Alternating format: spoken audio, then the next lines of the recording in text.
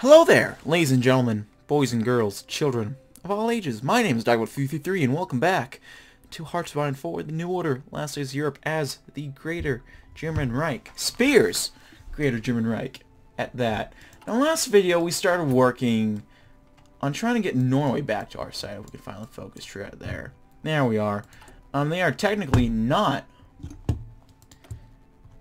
necessarily aligned with us, but we can work with that. In fact, we are about to work with that. We're going to strengthen our procedures. To say that our reputation on Norway is not stellar would be an understatement. No matter how cooperative a government is to our advances, the average Norwegian would rather die, and most likely will, than allow Germania to meddle in their affairs again, occupiers or otherwise.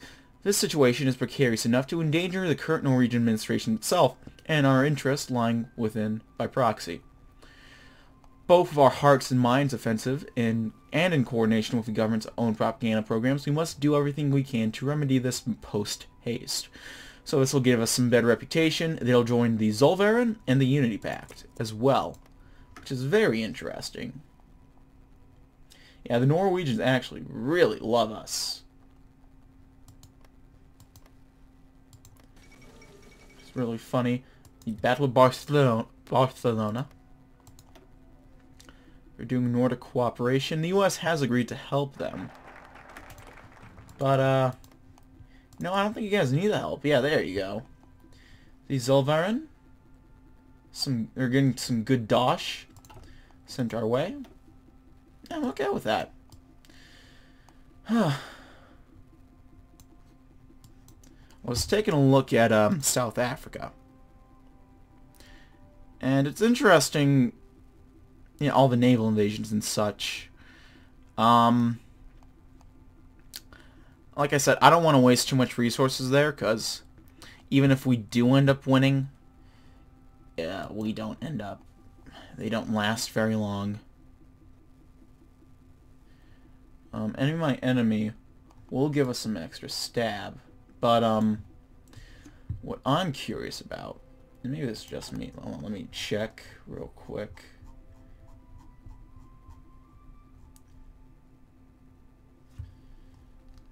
We'll see what happens here with Italy. Do they overshoot it? Because if they do, we got Hungary. Yeah, they... Oh! They overshot. Did I do... I think I might have actually... No, I, I don't think I touched that one, actually. Um... What I'm tempted to do...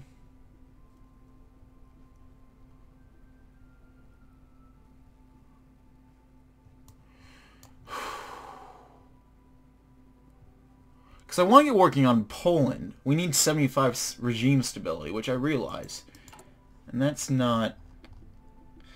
That's a bit of a push to do right now, I'm not going to lie. But...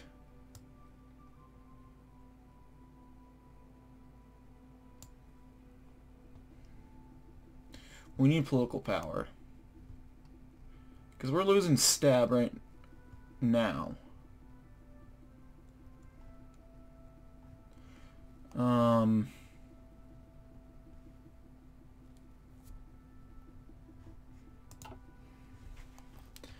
Okay. Howdy, Gus. I'm gonna do this, just test it out real quick, and then just cross my fingers and hope this doesn't come to bite me in the ass. So we're gonna go for Reichsminister's plan. And we're just doing this, this hopefully, this one time. Helmut Schmidt, the Reich Minister, the Reich Minister of Foreign Affairs, has proposed a starkly different plan to that of his contemporaries in the Oberkommando der Wehrmacht. Indeed, rather than suggest that the Greater German Reich conduct a full-scale occupation of Poland, Schmidt has asserted that only through diplomacy and the per per perusement of compromise can a deal be effectively forged. Hmm. It seems that the Reich Minister's plan has been received with characteristically positive with characteristic positivity by Führer Speer. Gut, sehr gut. There we go. And after this, I promise I will not do anything like that again. There we go. Okay. Focus. Dot no checks. So, Herr Schmidt, I've heard about your plan. Speer looked up from his desk, his eyes meeting his foreign minister's. I'd like you to explain it to me more, because frankly, I don't understand why we need to go this to this much effort over a place like Poland. Schmier straightened his... Uh, Sch Schmier. S Schmidt straightened his tie. It's less about Poland itself, and more about the international effects, my Führer. Speer leaned back in his chair. Elaborate. Well, we could enforce our, enforce our will through force of arms on the Poles, as we did in the 30s, but the main issue is that internationally, this would threaten our image as a reformist, gentler Reich. The, the issue of the plan, Herr Schmidt, is that it is going to force us into promises we might not want to keep. Understand my plan is not perfect, but it is the only way to keep our image safe. Besides, negotiation means no bloodshed, and neither of us want that, do we? Schmidt smiled. No, of course not. I give you permission to go ahead. Don't screw this up for me, will you? Spe uh, Speer shuffled in his chair. Schmidt nodded before leaving the room, the hopes of a new Reich, of Reich's new standing resting squarely on his shoulders. So, you know, no pressure.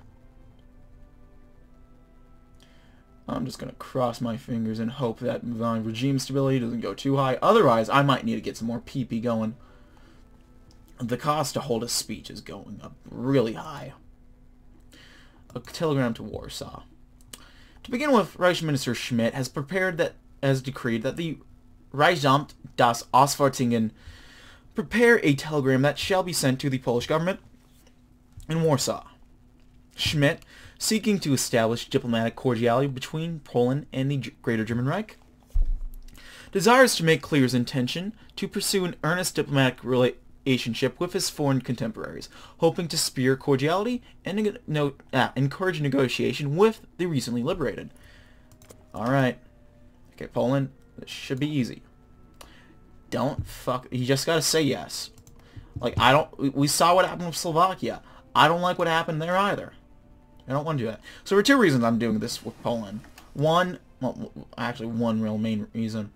Um, all of this requires me to, uh, like everything else requires me to deal with Poland first. So we'll get working on Ukraine after. Caucasia after we finish uh, Ukraine. And then probably uh, Russia afterwards. Russia has a neat little focus tree, I remember. We have some tech we can get working on, so let's do, I guess, um, better motorized. And uh, whatever this is, why not? It's not too bad. Let's do it. Onwards. Posters are slowly coming down the Reich. Radio programs are subtly returning to their normal broadcast. Uh, just for propaganda. So how are we looking? Yeah, the regime is leaning reformist. The outlook is still progressing in our favor, and our stab is going down. That's because the social outlook is conservative, I believe. Uh, you know? It's like the old album, Suffering from Success.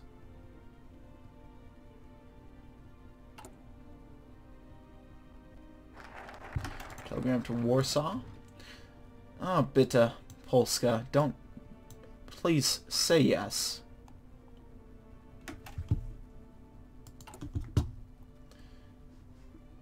Come on. This is really your only shot of survival. I hope you know that.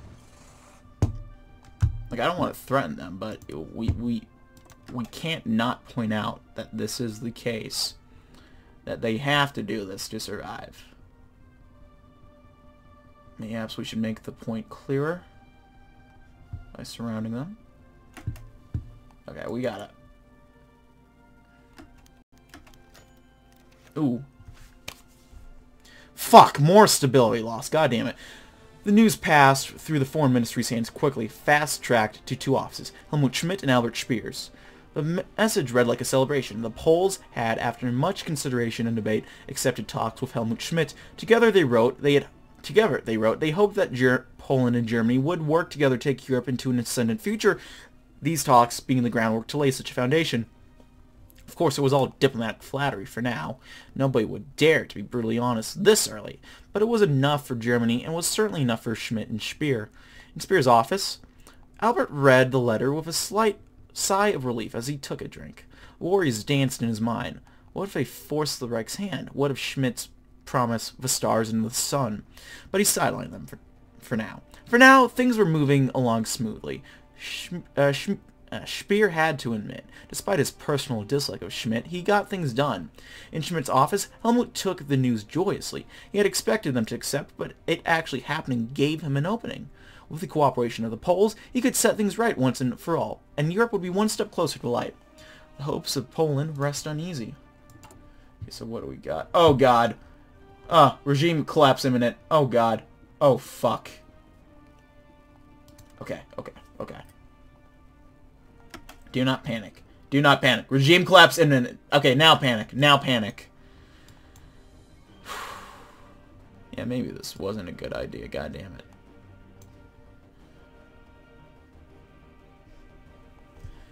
Um...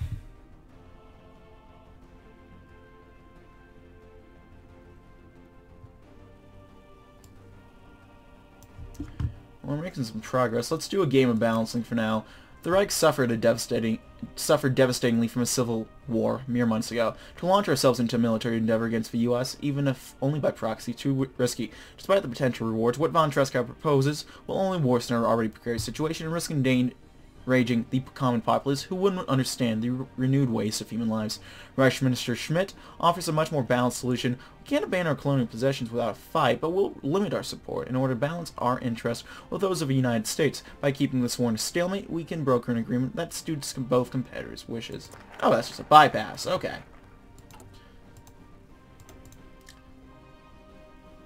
Now let's send what's left. It's going to take us time to save what we could out of the African territories our fatherland has, so it's up to us to keep ourselves from pulling out of this war too quickly. Whatever time we have left must be used wisely, and that means delivering ne uh, needed equipment to the Reich Reichskommissariats, allowing them to survive for as long as we need to, really.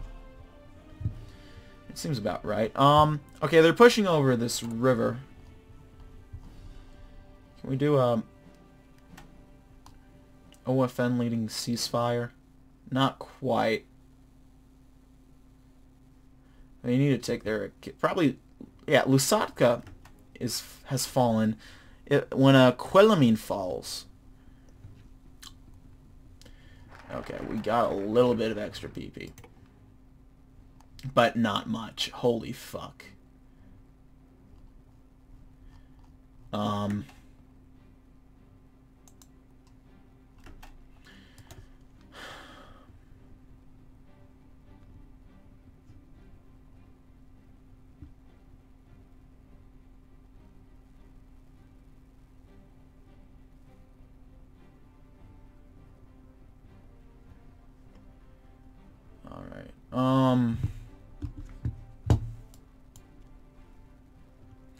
focus on the slaves of the Reich.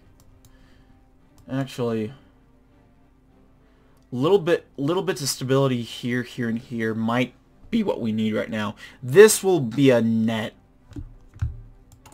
Not. This will be a net neutral if we do that. That'll be net neutral if we end up doing that.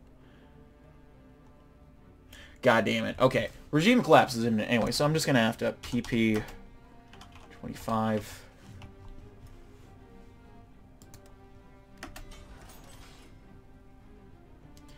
Okay. We're staying out of imminent Reich collapse. Huh. Go figure. Convincing Nazis not to be so Nazi-like anymore is pretty tough. Um, shit. Okay, enemy my enemy. So the saying goes, at least. Japan is certainly a military and economic juggernaut, but it's also xenophobic, isolationist, and paranoid in the extreme. They will never regard us as equals, as much due to their so-called Pan-Asianism as to our contrived rivalry. We will continue pursuing a thaw in relations, but it is clear that there that trying to rebuild our old ties with Japan is a complete waste of time. No matter, the Wehrmacht is all Germany needs to defend herself. We'll be better off with an arrogant, far-flung ally without a arrogant, far-flung ally dragging us down with them. In line with Schmidt's sound reasoning, the U.S. will be our main focus in diplomacy. Perhaps this is for the best, as we have far more in common with them than with the Japanese. They might be corrupt plutocrats, but the Americans are still European at heart, with plenty of honest German heritage. If we can smooth over the ongoing tensions in Africa and start exchanging goods again, perhaps the geopolitical tables can be turned on Japan. It would not be inconvenient. It would not inconvenience us to see their exploitative empire fall and free nations emerge from the ruins. There we go. Fuck, we might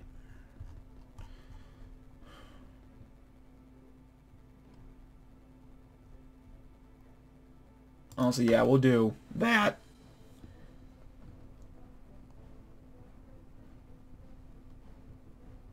We'll do vast political promises. It's not going to do much in the end, admittedly. But it gives us an okay base. Show special projects. Um, we'll do all of these poverty, the tradesmanship initiatives, education investments. Okay, enemy my enemy. That was a net nothing, right? Yep, net nothing. So we'll do we'll show how we are not in we are in fact not alone. This is no ordinary day in politics for Speer. It has began with a most unusual meeting. Reinhard Gehlen, spymaster extraordinaire and former head of foreign, arm, foreign armies east, was at the Reich Chancellery even before Speer himself. An urgent matter, he said, as he barged his way into the fear to lay out his papers on Hitler's old desk. Though calm and collected as ever, there was no mistaking his tone. We've got problems. Okay, so what do we got on the... Um... Yeah, so we got 10 days, and then um, we more or less have Hungary, I think.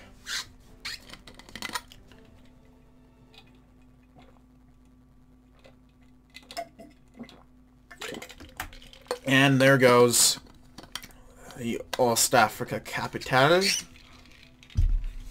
I think that should be enough to get the uh, ceasefire, right? I'd have to imagine so. Yeah. We just need the PP. Oh, Pakistan has become independent. That is interesting. See, it seems to be more or less democratically done. Okay. Imagine that'll get rid of religious tensions a bit. Looks like they got all that figured out. They don't have to argue over uh, Kashmir. Free military factories. Well, they probably will, but they don't have to worry about China in the equ equation because, you know, uh, China's a little fucked right now. I don't know if you noticed National Protection Army. Oh, Long Yun.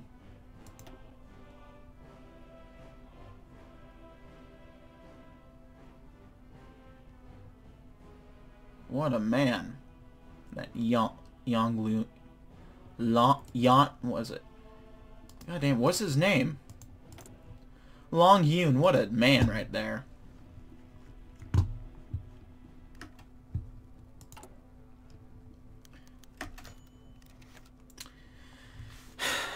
So the United States, Speer finally said, opened his eyes and setting his hands down on the desk. You've had some discounts, Schmidt. We need their economic clout on our side. Schmidt breathed a sigh of relief and nodded. Thank you, my Führer. I promise you, this is the right path. They're, um... Well, they're normal. Speer chewed his lip, looking a bit skeptical. Hmm, true, but they won't stop trying to subvert our interests. Don't forget that we've always been on hostile terms for decades now, and that history won't go away just because you enjoyed some applause while you were over there. I, I know, my Führer, Schmidt replied with a slightly offended edge to his voice, but they also operate in a manner we're more familiar with. And our two societies are more alike than they are different. The Japanese, though, trying to build normal relations with them, even if it's not totally futile, might just make them more confident in their own broken system. Can you imagine if we got dragged into another war because of them? If you ask me, we should keep them at arm's length, my Führer. Speer nodded and scratched his chin. Yes, I understand, but still, the Japanese still match the Americans in their military might. Isn't there some value in a deter deterrent? Deterrent. My Führer, forgive me for my frankness, but we already have a deterrent. It is called our nuclear arsenal. Conventional armies don't have the clout that they used to. Trust me, Erhard is right. The economic benefit of trade with the U.S. will far outweigh anything the Japanese can offer. And we can't be seen to associate with the Japanese if we take a turn towards aggression again. I've already made my decision, Schmidt, Speer remarked, relaxing a little. Don't fret. Tell your men at the Foreign Office to get to work and contact Erhard too. We still have a long way to go before we start, start seeing fuzz on the Autobahn two eagles shall fly together.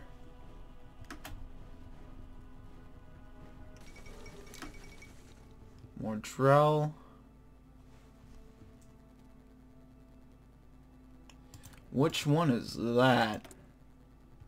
That's the modern one. Okay. We are not alone. Yeah. Okay, we could use some more PP. Let's get a helping hand. Of course, Gehlen will not be so forthright and helpful without the expectation of due reward. Quite unlike the Nazi Toadsie, uh, Toadies, however, he has made the bold, unexpected, and altogether useful request. The formation of an entirely new agency under his direct authority. There are serious questions about his motives, but Gehlen has always been the very model of a consummate professional. Motivated by patriotism and a borderline obsessive desire to keep keep the Reich's backroom affairs in order. He's one of our most successful intelligence operatives. Might this be what we need after all? Dubbed the Reichsnach... Reichsnachricht at the Reich Intelligence Service, or, or RND, this proposed agency would consolidate our existing intelligence services under a single umbrella. All the foreign intelligence gathering activities will be the RND's responsibility alone, and they would also take over all high-level internal security. Low, lower level Gestapo roles will be folded into the Orpo, and the Abwehr will effectively become the RND's military division. This would be a considerable accumulation of power in Gehlen's hands, but this would give us a clean break from the Hitler-era agencies and bring us up to par with our international rivals in the field of espionage. I'm down for that.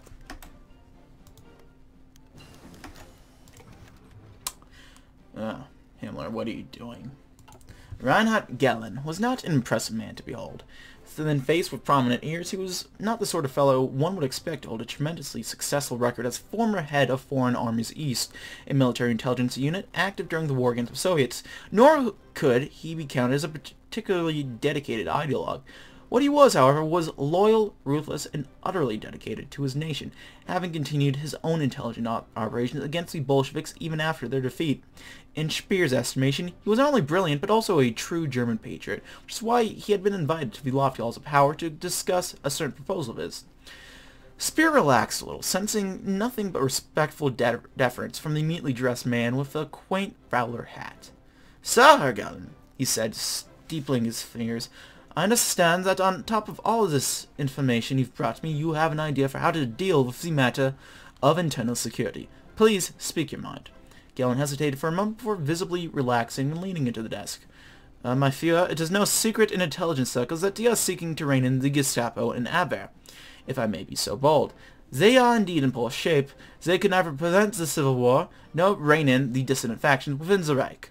Speer's face remained inscrutable. Go on.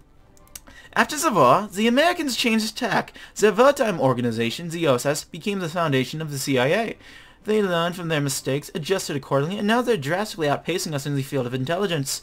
The same goes for the Japanese, as well as for every second-rate power in the world. We need something else, a new agency for the modern era. Speer pondered this for a moment. Interesting idea. Do you have anything more concrete for me? Gehlen nodded. He hauled his briefcase up on, on the desk and clicked it open, producing an overstuffed manila, uh, uh, manila envelope with Reich, that RND scrawled on it. I do indeed, my Führer. Would you like to know more? How long has he been planning this?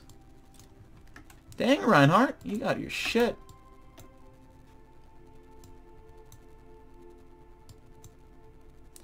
Let's do extreme environment training. Bada bing, bada boom.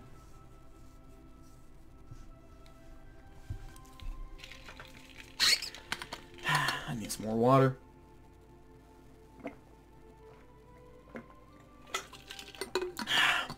Refreshing. A helping hand. Wunderbar. So we got some more pee-pee. Okay. Looks like we can hold another speech, which we really should.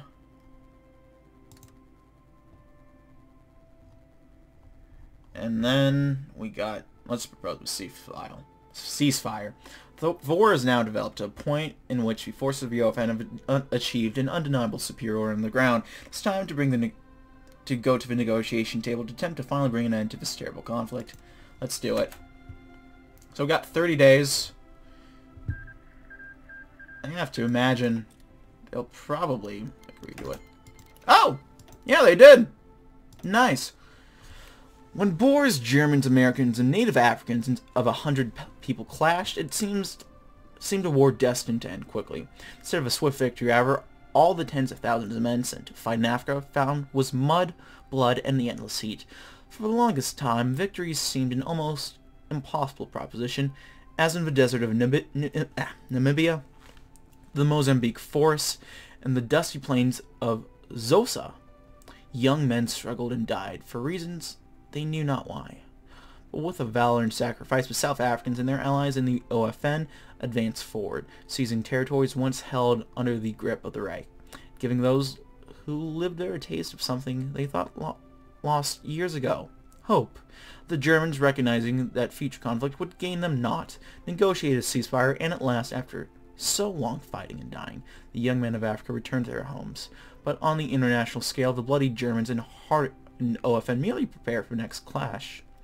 The Dark Continent returns to peace, of a sort. So, um... There we go. Okay. So, South Africa is looking pretty thick. In fact, we're taking up most of uh, South Africa. Actually. I forget, did they do the, um...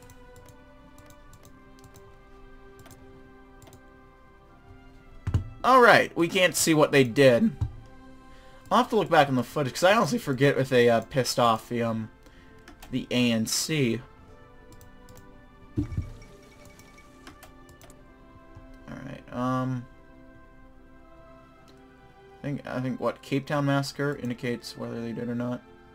Or Commander Raids.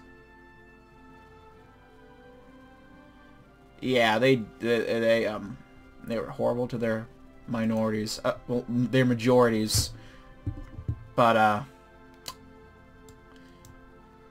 we'll see how how well that ends up working for um the Reich. Um, peace at last. I have a feeling South Africa is not one for this world for much longer, at least realistically. I know for a fact that um These guys are not long for this world either, but we'll wait and see. Okay, we got national focuses up the wazoo.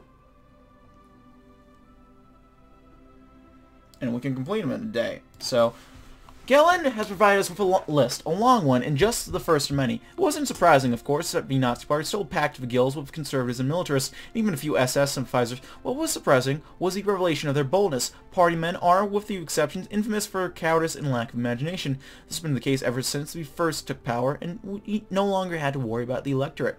We can largely pin this on the fact that the party now exists solely to fill the rubber stamp legislature that is the Reichstag, and as career as a career ladder for the ambitious young bureaucrats. At least this list is more beneficial than concerning. The Nazi Party so far escaped through scrutiny in the Sonder, Sondergericht compared to the bureaucrats. Time to uproot root the Wheaton Garden. It would be too drastic and unpopular to simply purge the entire party, but with concrete evidence of certain individuals' plans. Who would question the removal of a few problematic elements? Sure as heck wouldn't be me. Am I right, guys? So we saved up 10 days and there's only really 7. Fuck, our outlook is regressing.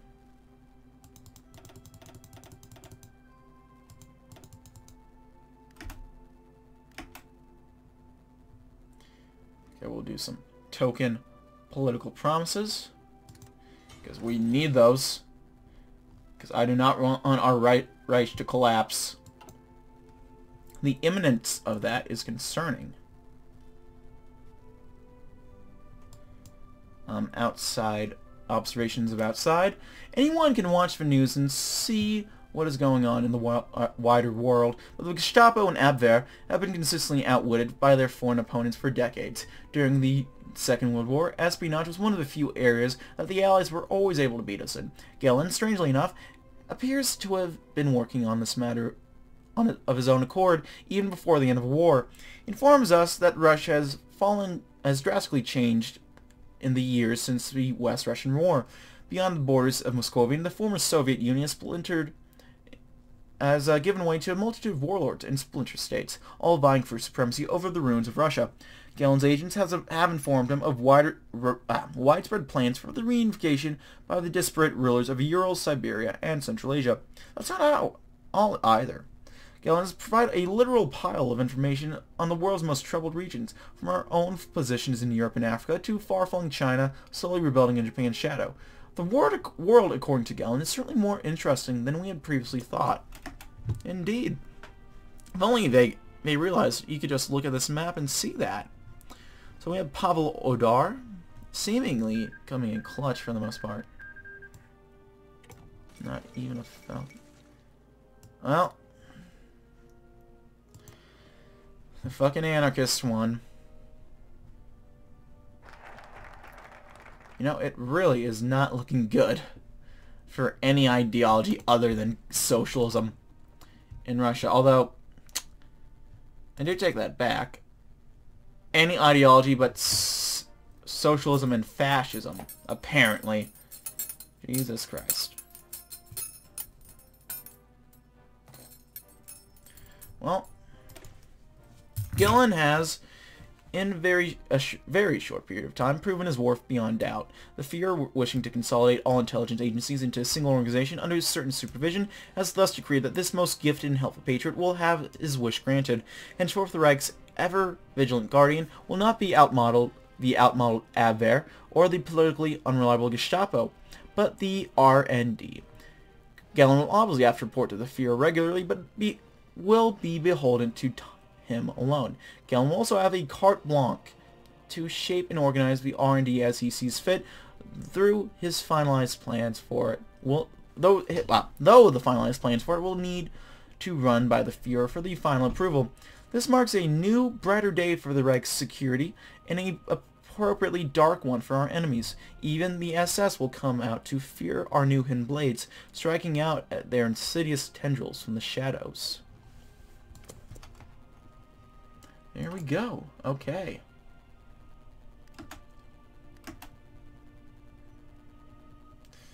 Oh, dear. Gotta say, I'm really, really not liking this is all, all, all this is going. Um, but there's not much else we can do other than start running a slight budget increase.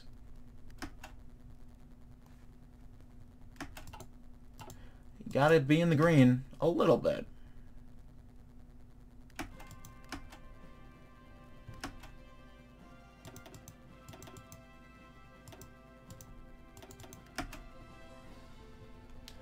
Can I not boost? More money? Not sure how this entirely works, to be honest. But, uh, who am I to question it? And we're improving our stuff slowly enough. Our poverty rate, it's pretty low.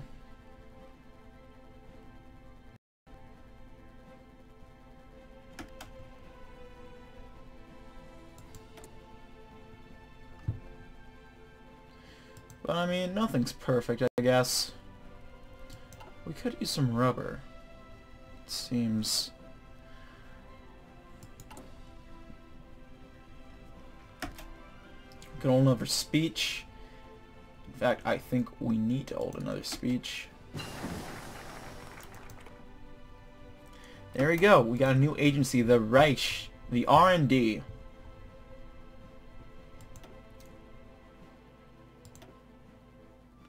Okay. Okay, so we can use our command power. Show special missions or standard missions. Okay, we can pick our research.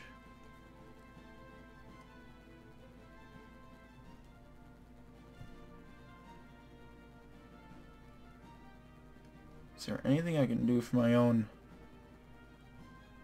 regime stability? That's what I want to see. Okay.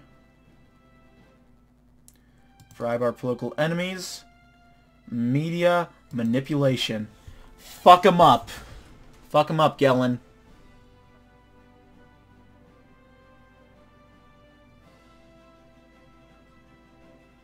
Hmm. Okay, let's go with...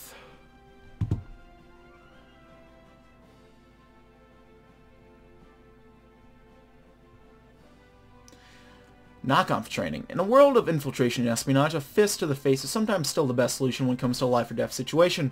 Military espionage, even police forces across the world have adopted martial arts or even developed their own response. The art of deftly taking control over an enemy in close quarters combat can prove useful in many situations, ones the RND agents are likely to experience at one point or another as well. If so, they must do if so, all they must do is try to remember some of the basics of Nahkampf. I'm down for that. Alright, so we got some basic stuff going. Um, I think all we can really do at this point, guys, is just uh, call it here. Because uh, we're out of time for today's episode. Thank you as always for watching, however. If you like this video, go ahead and leave a like. If not, feel free to dislike. If you want to see more of this content feature, go ahead and hit the subscribe button for more uploads every weekday, as well as every Saturday. If you have any comments, feedback, concerns, anything of the sort, leave in the comment section below. I read all the comments I get and appreciate any all feedback you can folks might have for me. If you want to send feedback some way, I have a Patreon down below. If you want to watch me play games or do stuff live, I have a Twitch, which I'd recommend you check out. I've been doing some stuff for the past couple days, or at least past couple days of time me recording this. And I have some fun. I've had some fun with it. Also, I have a uh, Discord if you want to join up with that. We can chat, play games, and just have a grand old time in general. So yeah, that's about it for now, folks. Thank you so much for watching. My name has been Dogboat333, and I'll see you next time. Goodbye.